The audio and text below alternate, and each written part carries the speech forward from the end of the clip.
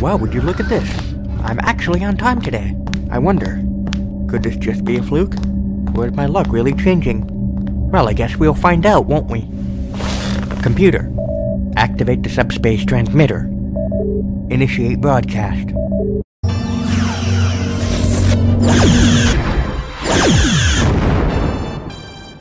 The most mind-blowing stories from across the universe. Exclusive interviews. Your most outrageous Surely shenanigans. All of this and more starts now on your Starbase 118 Subspace Briefing.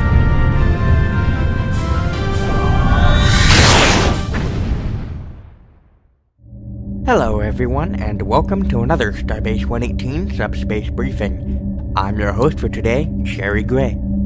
We here at GEN are pleased to be able to bring you another short, if still insightful segment today. This time you'll be hearing from Kelrod Dickens, a security officer aboard the USS Veritas. And he is going to be educating us about Starfleet search and rescue teams. Commander, the floor is yours.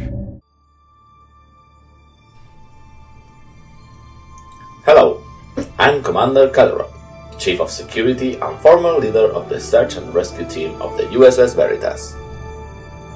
Space exploration is a risky business, something that could uncover a myriad of wonders, but all those wonders don't come without risk. Part of Starfleet personnel is responsible of dealing with those threats. Keep the crew safe from danger. This is part of the security personnel duties but like almost everything in the universe, they are not foolproof. And sometimes people got hurt, lost, or captured. Many times, security in general has to deal with those issues. But some installations have the benefit of a specialized team of people ready to take on the more challenging missions where lives are at stake. They are known as the SAR teams. For those unfamiliar with them, SAR stands for Search and Rescue, and the concept has existed for centuries, since the first modern armies.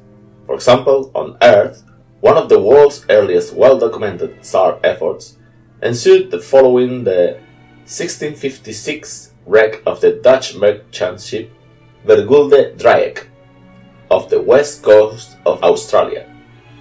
Survivors sought help, and in response, three separate SAR missions were conducted, without success.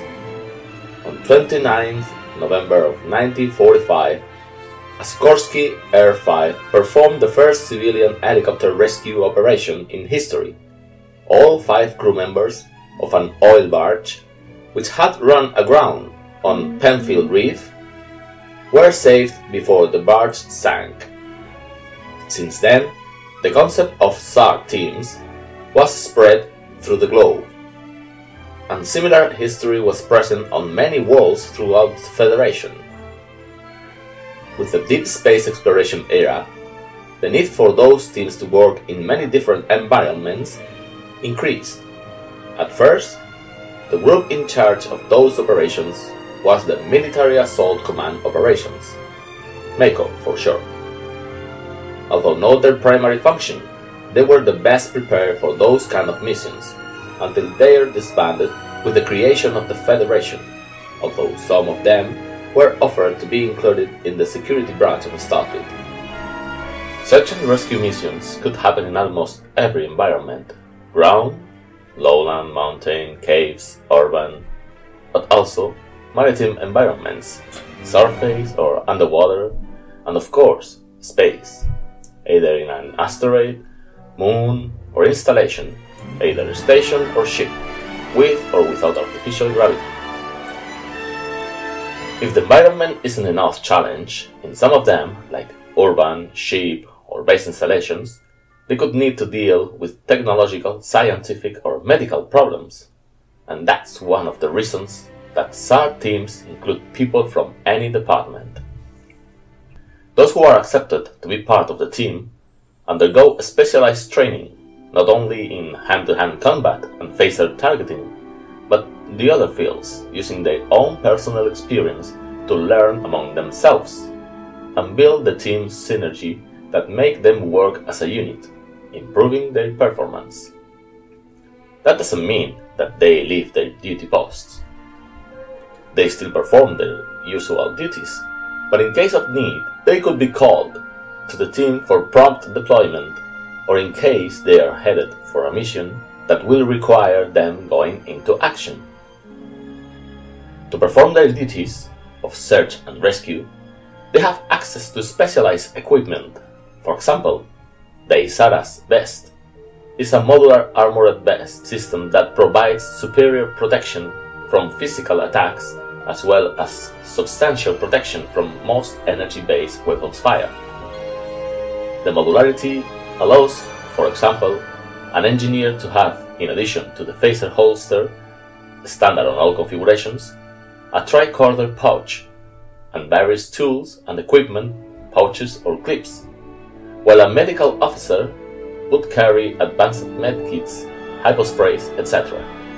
A marine participant may have the majority of their Isaras dedicated to carrying weaponry and explosives, depending on the role of the individual has been asked to fill.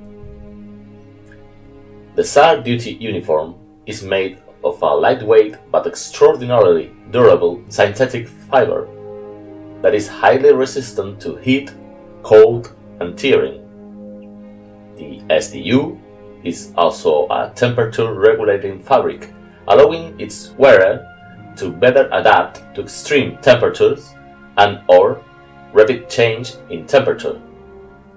Aside from that, they have access to other items like a combat tricorder, body armor, power packs, grappling equipment, first aid kits, pattern enhancers, and a lot more that will take too much time to list them all.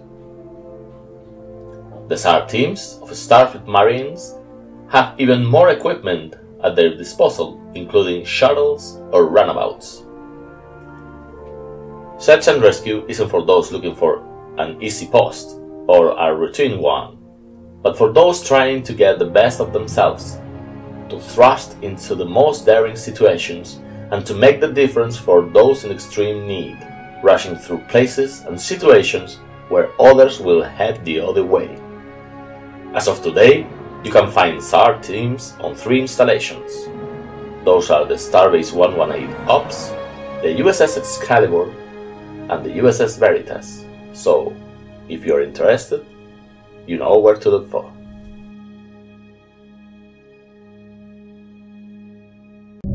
I hope you all found this as insightful as I did, and hopefully a fair bit more amusing.